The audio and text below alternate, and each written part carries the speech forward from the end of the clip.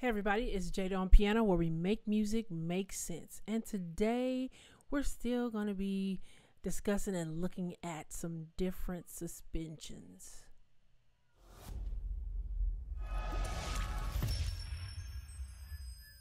All right, so let's jump right in. Let's talk, okay? Let's talk about the suspensions. You know, we were doing the suspensions from Dominique, uh, Dominique Johnson, beautiful arrangements, Rich Tolbert, right?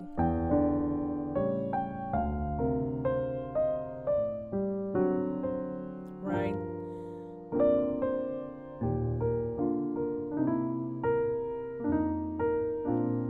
Y'all see, I'm still working on that, getting good at it. But that was those movements, those inner movements where we went here and then right? Listen to, and those were half steps, right? And this is a half step. Let's go to another one. I want to show you this one here.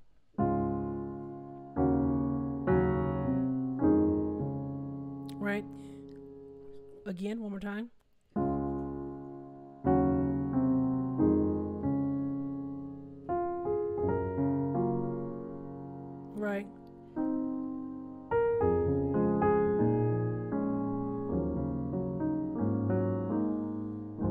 Actually used a lot of suspensions on that, but I'm only going to be focusing on this one here. Okay. Now, this is a great move to go from a 1 to a 4. And because it sets it up so nicely going to the Okay, let's look at this in the song Hallelujah.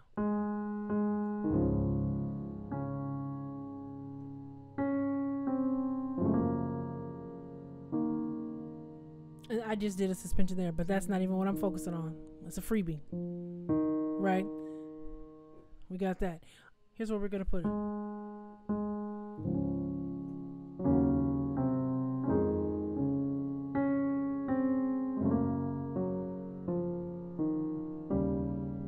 Something like that. Just the first little bit of that song, we already put it in.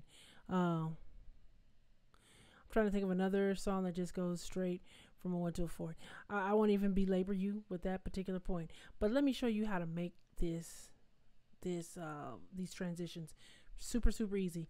First of all, the target or the chord we start on is a one chord, and then the chord that we're ending on is also a one chord, but it's leading us to a four chord. So let's look at this. I showed it to you in D flat. Let's look at it in the key of C. Okay. Um, so the first thing you need is your your left hand, key of C. What I'm going to do is take a second inversion chord. Okay, and I'm going to put that with my one chord. And then, or, so then I take my two chord, right? But it's real open space. Now, if you take the whole chord, you can take it like that. Take out the third. Okay, so now we have a real open chord there. All I've got here is the bass note, and I'm putting in the seventh. So I've got one D, got both of these C's, and then I've got the other F in there. So two F's, two C's, and one D right there at the bottom. That's what we're using to make the chord. But when we're on this C, that's the note that's going to move. See that? And then we move in here. So once we get to this chord is also a C chord. That's really what we're going to end up on. But instead of going straight to that C chord, so you could end up doing this.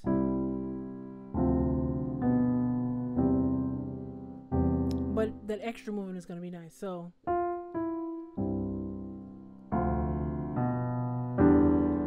So the D's, we put the D's in E and D right here. Same type of chord as this one, right?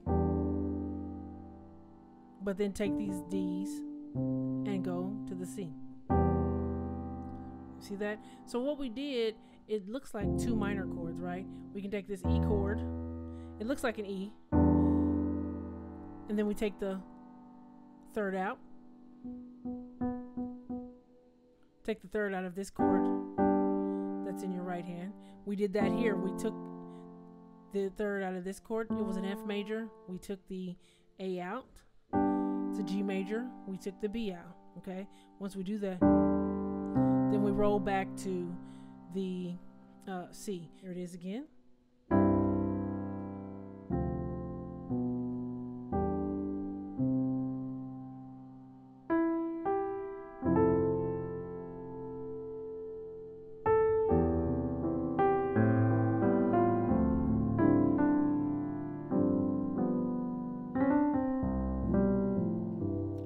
Let's choose another key, do the same thing. So you can just see how this is fitting. I chose, um, that was C. Let's jump in. How about A? So, and notice how I'm keeping, when I said a second inversion, that chord, was it second inversion? Hold on. Yep, it is second inversion. So if I'm going to the key of A, I also need a second inversion chord.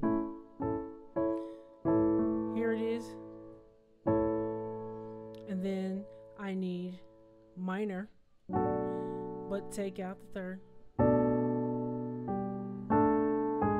Said I'm in the key of A.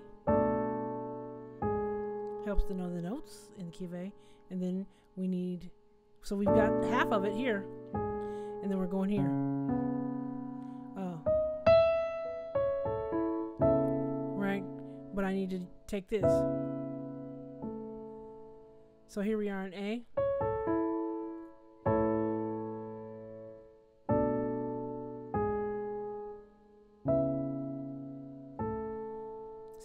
To that? Then we go to the four.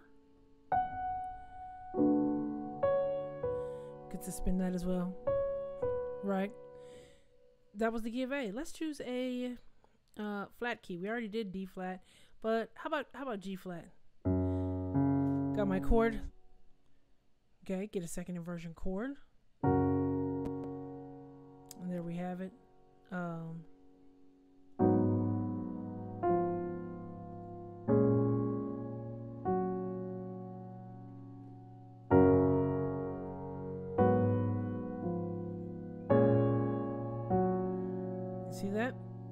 So, you know, something really easy for you to add into your songs that when you're going from a one to a four. Also, if you're going to, if you've seen other lessons where you can change different keys and stuff like that. Um, also, in this case, this is just going from a major chord to a major chord. Because, uh, let's go back here. We're right here now this is the one chord, but it's a G or F sharp major, G flat major, both of them. But then the four chord is a major chord. Okay, so we're just going from major chord to major chord. So you can also look at it in that way if it helps you setting up different moves in other keys. But I just want to show you that in a couple of keys so you can take it and start putting in your playing. Somebody that I've heard do this a lot would be Aaron Lindsey. Love his playing, love his style. But if you check out, you know, some Israel songs, uh, Israel Houghton or Israel the New Breed, you might catch Aaron Lindsey playing something like that. So check that out. Add it into your playing. Um, it sounds real nice with a.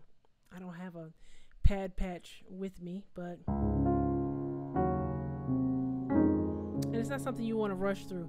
If you notice in this case, I was also rolling that. See that? So try that out as well, but you can do it straight.